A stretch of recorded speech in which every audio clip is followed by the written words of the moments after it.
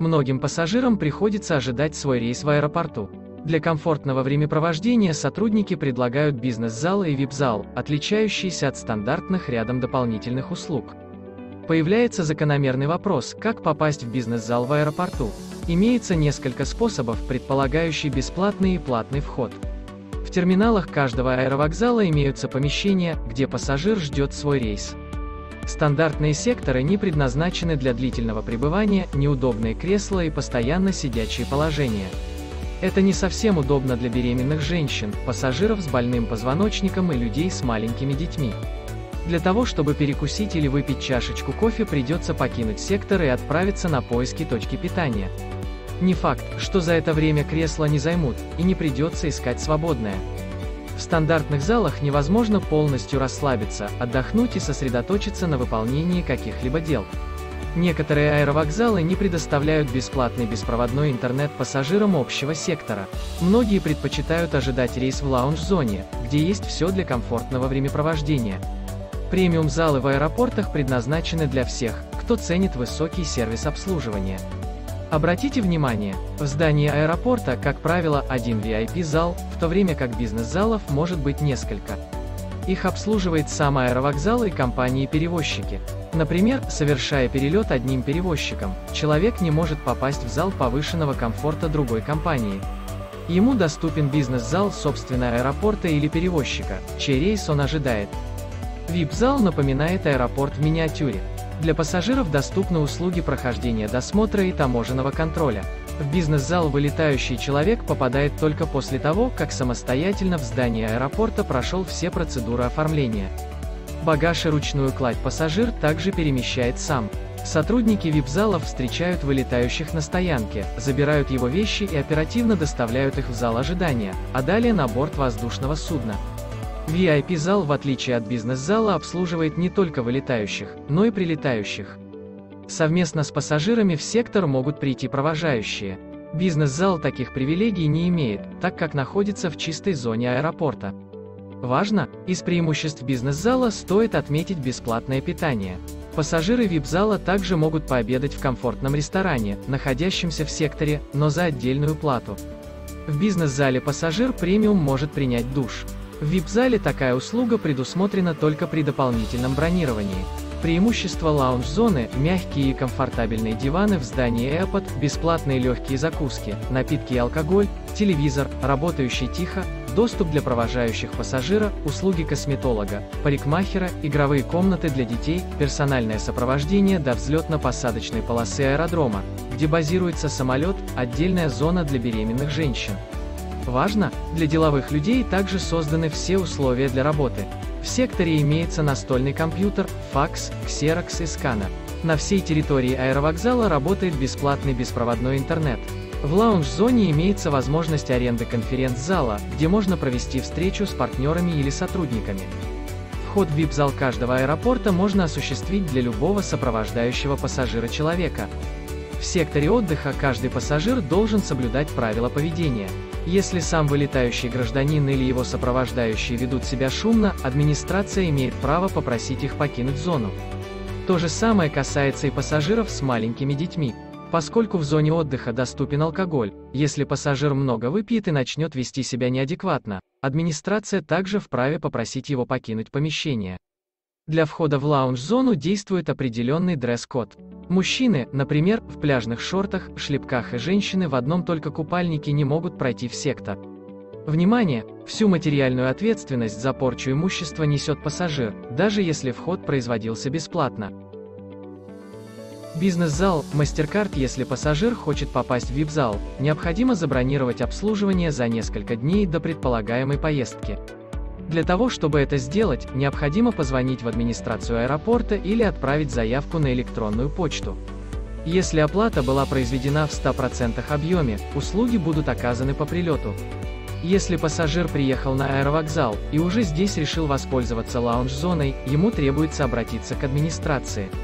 Если до рейса более вторых часов, услуга будет предоставлена. Для поиска администрации или карты для прохода в уютный бизнес-зал аэропортов можно воспользоваться справочной стойкой, где пассажиру разъяснят, куда следует направиться. Обратите внимание, для того чтобы попасть в бизнес-зал пассажирам с эконом-классом билета, требуется быть обладателем Priority Pass или участвовать в программе лояльности Lounge Pass. Это клубные карты, которые получить можно несколькими способами. Банки РФ предлагают такую карту всем обладателям кредитной или дебетовой карты со статусов выше уровня Gold. Клиент банка может самостоятельно подать заявку на участие в программе. Важно, чтобы попасть в зал повышенного комфорта, требуется предъявить карту. В Москве по ним обслуживаются все аэропорты Шереметьево, Домодедово, Внуково, Пулково. Каждый банк выдвигает свои условия пользования программой, фиксированное количество бесплатных посещений, безлимитное посещение на протяжении 12 месяцев, фиксированная стоимость каждого посещения от 24 евро звездочка. К банковским учреждениям, которые предлагают Priority Pass, относят Сбербанк, Банк Москвы, Райфайзен, Тинькофф, Промсвязьбанк, Юникредит Банк и многие другие. Программа «Сбербанк Премьер» от Сбербанка предполагает стоимость обслуживания 2500 рублей звездочка ежемесячно, если оборот денежных средств по всем картам и счетам клиента более 2,5 миллионов рублей. Комиссия не взимается, бесплатное посещение бизнес-залов самим владельцам карты и четырем сопровождающим лицам. Банк «Русский стандарт» и карта «Империя Platinum» MasterCard World Signia, ежегодный взнос 15 тысяч рублей звездочка. Бесплатное посещение на протяжении всего года участникам программы бизнес-залов, за сопровождающих лиц взимается отдельная плата. Пакет «Привилегия» от ВТБ-24, ежегодный взнос 30 тысяч рублей звездочка. Бесплатное посещение залов повышенного комфорта на всем протяжении пользования программой. Пакет первый класс от Росевробанк, ежемесячный платеж 2500 рублей звездочка. Бесплатное обслуживание, если оборот денежных средств, находящихся на счетах в банке, превышает 200 тысяч рублей. Бесплатное посещение вип-зала держателем карты и доступ для одного сопровождающего. Пакет PRAM от Unicredit Bank, ежемесячный платеж за участие в программе 30 тысяч рублей звездочка. Ежемесячный платеж отсутствует, если сумма денежных средств на всех вкладах, открытых в Unicredit Bank, превышает 2 миллиона рублей, бесплатное прохождение в лаунж-зону для участника программы и одного сопровождающего. Райфайзенбанка карты Visa Platinum и MasterCard World Black Edition Priority Pass выдается в рамках предоставления услуг по тарифу премиальный ежемесячное обслуживание 3000 рублей звездочка. Бесплатное обслуживание карты, если в месячный оборот по картам более 2 миллионов рублей. Бесплатное неограниченное посещение лаунж-зоны участникам программы и одним сопровождающим лицом. Если карта клуба была заказана через официальный сайт, клиент выбирает один из вариантов оплаты – базовый тариф. Ежегодный взнос 99 евро звездочка, каждое посещение 24 евро звездочка с человека.